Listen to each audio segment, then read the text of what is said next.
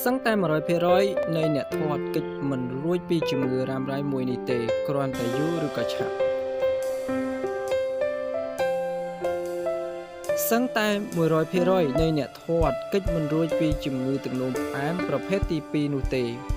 គ្រាន់តែយូរឬតែឆាប់ប៉ុណ្ណោះនេះបើតាមការអះអាងរបស់លោកវិជ្ជបណ្ឌិតឯកទេសជំងឺទឹកនោមផ្អែមសាស្ត្រាចារ្យមហាបរិញ្ញាសេងសេរី សាស្ត្រាចារ្យវិជ្ជបណ្ឌិតបង្រៀននៅសាកលវិទ្យាល័យវិទ្យាសាស្ត្រសុខាភិបាលរុំនេះបានបន្តទៀតថាអ្នកដែលធាត់ធាត់មិនត្រឹមតែប្រឈមនឹងជំងឺទឹកនោមអែមប្រភេទទី2នោះទេ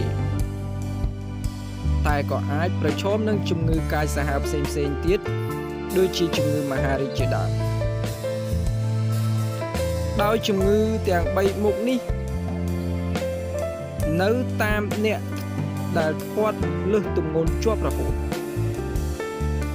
ពាក្យខ្មែរយើងតែងតែនិយាយពេលដែលជួបគ្នាម្ដងម្ដង គឺបានជួបបងប្អូនជួបគ្នាម្ដងម្ដងឃើញថាធាត់គឺគេសប្បាយចិត្តណាស់ការពិតមិនអញ្ចឹងទេ គឺជារឿងគ្រោះថ្នាក់នៅថ្ងៃអនាគតទៅវិញគាត់ប្រហែលជាអ្នកជំងឺឈឺច្រើននៅថ្ងៃខាងមុខត្រូវតែប្រយ័ត្នប្រយែងពីសាស្ត្រាចារ្យវិជ្ជបណ្ឌិតដែលបានរៀបរាប់ សេងសេរីដូច្នេះដើម្បីឲ្យមានសុខភាពល្អគ្រូពេទ្យតែងតែណែនាំឲ្យថែរក្សាទម្ងន់ឲ្យបានសមស្របដែលពាក្យសាមញ្ញហៅថារក្សារាងកុំឲ្យធាត់លើសទម្ងន់ដុសបាពោះបច្ចុប្បន្នអ្នកខាងអង្គការជំងឺទឹកនោមអែមអន្តរជាតិគេគ្រាន់តែឃើញក្បាលពោះក៏គេដឹងថាអ្នកនឹងមានហានិភ័យកើតជំងឺទឹកនោមអែមដែរ ព្រោះគេបានកម្រិតថាឲ្យវាស់រង្វង់ពោះមនុស្សប្រុសរង្វង់ពោះក្រោម90ដឺក្រេសង់ទីម៉ែត្រមនុស្សស្រីតិចជាង80សង់ទីម៉ែត្រចូលចុចគណនាសន្ទុះ BMI ដើម្បីដឹងថាកម្ពស់ប៉ុណ្ណាគួរតែមានទម្ងន់ប៉ុណ្ណាទើបសុខភាពល្អ ចំពោះស្ត្រីវិញងាយនឹងកើតជំងឺទឹកនោមអែមប្រភេទទី2បំផុតនៅពេលដែលអស់រដូវដោយអំឡុងពេលនោះទម្ងន់នឹងចាប់ដើមឡើងឯរបបអាហារចាប់ពីអាយុ40ឆ្នាំឡើងទៅ គ្រូពេទ្យឲ្យកាត់បន្ថយដោយការញ៉ាំជាតិប្រៃពេកអែមពេក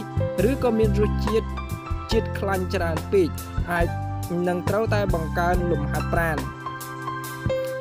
ជំងឺទឹកនោមផ្អែមប្រភេទទី2កើតឡើងនៅពេលរាងកាយប្រឆាំង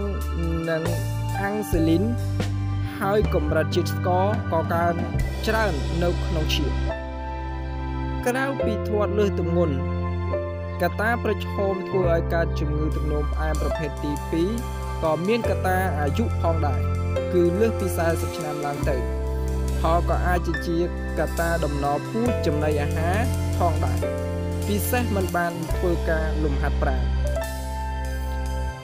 វគ្គក្រោយវីដេអូក្រោយខ្ញុំនឹងយកអត្ថបទមួយដែលតាក់ទងទៅនឹងស្ត្រីដែលងាយនឹងកើតជំងឺទឹកនោមផ្អែមប្រភេទទី2មកបកស្រាយចែកជូន